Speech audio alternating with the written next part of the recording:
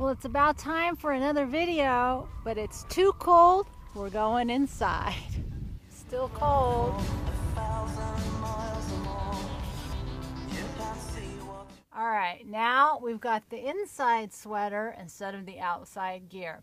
Part of living in this tiny space that makes it so complicated is that uh, there's all this on and off, especially in wintertime. It's really complicated and time consuming. One of the things I don't like, but that isn't what I wanted to talk about today. So, what I wanted to talk about today is I want to start separating out these ideas. What do I mean when I talk about road culture versus RV community? And uh, I think that there is a divide. I think that even road culture is a subculture of this trend uh, to live with less, more of a minimalistic, simplistic, somebody put in the comments, essential uh, how to really bring everything back down to a much more uh, simple and tinier footprint, not necessarily because of a belief system, but just because uh, it makes more sense. It makes sense to live a little bit smaller uh, on the inside, which gives you maybe more time or more money to live and experience life, a little bit bigger on the outside. There's lots and lots of reasons why people uh, are shrinking their lives a little bit. Some of them are un uh, something that they can't control. Some of us lose money, so we have to contract. But there's an intentional contraction by a lot of people. And whether you want to call that minimalism or simplicity, I think that's one cultural move in and of itself. Uh, when I talk about this idea of road culture or more of a traditional with a new spin on nomadic culture, uh, you know, for those of you who know or don't know, you know, nomad really comes out of the pastoral movement. Its roots are in the shepherds who took their livestock, the sheep or the cows or the goats, and they moved them through the different grasslands and sort of in terms of uh, season so that they could support the food needs of the livestock and also for themselves. It was their livelihood.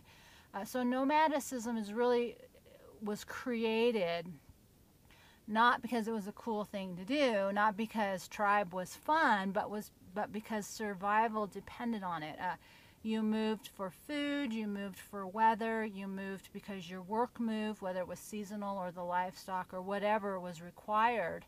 You moved with your needs, and it was really based around your survival needs. And uh, it evolved, you know, into different communities or groups, you know, like the, the caravans of the gypsies or the uh, the steppes of the of Mongolia have a lot of nomadic tribes, and you know, even here in America, in before there was barbed wire and fences, you know, the cowboys moved their livestock up and down, you know, the corridor of the whole United States. They didn't have uh, the, the range, the rangeland and the grasslands were open. Uh, you know, that's sort of a topic of debate these days mm. about what's public land, what's private land, what's government land. But that's a topic for another day. So, this cultural shift, this idea that I'm talking about, it isn't anything new. Uh, what I see, and one of the reasons why I'm talking about it, is that we're in this time of tremendous change. And uh, for many of us, that traditional living, you know, in one place with one job and one house, that may be not something that you want to do over the course of an entire life. And it's not that people aren't moving around. I think what's new and what's different is, you know, with the invention of the wheel, things got a little bit more flexible. You put a little motor on that, you can go almost anywhere. And so, we are in this moment in time where the tiny house movement really was more of a cultural shift than any kind of RV or trailer.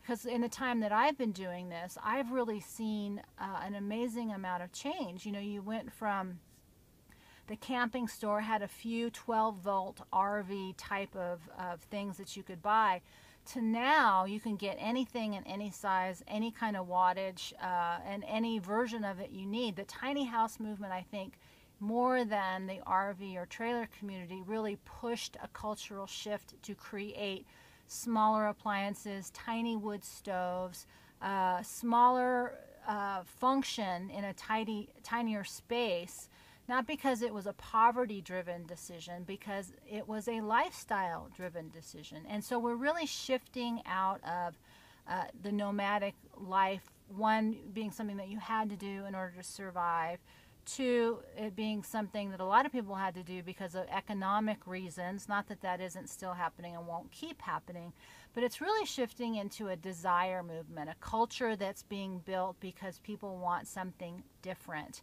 Uh, and I see that as a huge positive. I think that it's in its infancy. I think that uh, we're in this moment of time right now where regulations are trying to contain and control it. Uh, but I think the economics are going to drive it such that this idea of more of a road mobile living uh, is not going to be stigmatized. It's something that you know people are excited. I'm excited about creative ways to create home, work, community, uh, just interesting structures, interesting ways to live. Moving away from conventional and traditional as 100%, you know, you were born this way and you're going to die this way. So I see that as the cultural shift that I want to be part of. Now, the contrast to that, and I think what's so prevalent here on YouTube, is the RV community. And the reason I want to bring that up is when I, you know, was doing these videos, especially last year, people, you know, got a little hair up there, you know what, because, well, you're not a nomad because you're not traveling. And that's, to me, that's an ignorant statement. Number one, you don't know the history. Number two, I already did that for a couple years, so it's not like I haven't ever traveled anywhere. Uh, and number three, that's small thinking, that's tiny thinking, and that's not what I want to be about at all. And so, the RV or the van community, I think, is a positive force in and of itself, but it's, it's a subculture even of the road culture is a subculture of a bigger movement of reducing uh, a lifestyle to a smaller footprint and a more mobile, non-traditional format. And so this whole RV van community tribe thing that's happening, uh, I think, like I said, I think it's a positive. I think people are finding community, they're finding ways to be together, they're finding a lifestyle that works for them.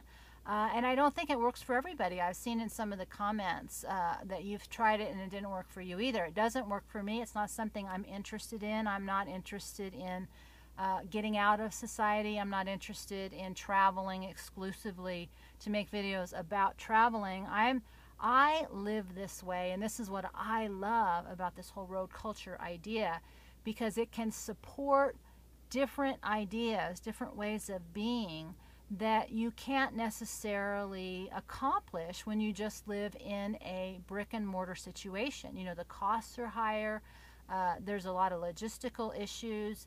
So I see it as a, a, positive. I just wanted to differentiate those two things uh, and also really implore you not to look at them at as a right or wrong, uh, as an evolution of idea and a way of being. And a lot of people that start off in the RV community idea group uh, may find that they morph into this bigger road culture idea and vice versa. People who you know, like me, I never started out to travel or to be in a community. I never started out thinking any of these things. They evolved as I experienced them.